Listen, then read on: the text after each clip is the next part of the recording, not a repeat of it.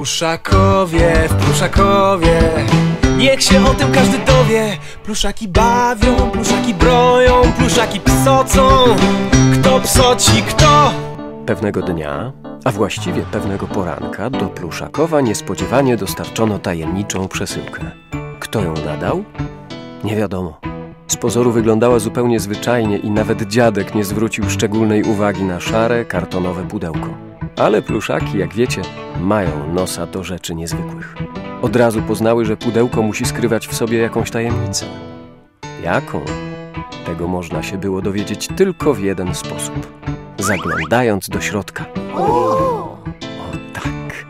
To, co znajdowało się w środku, z pewnością było niezwykłe.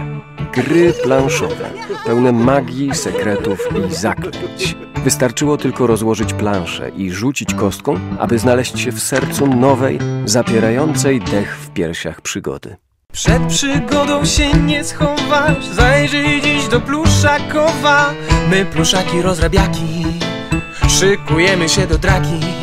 My pluszaki rozrabiaki Szykujemy się do draki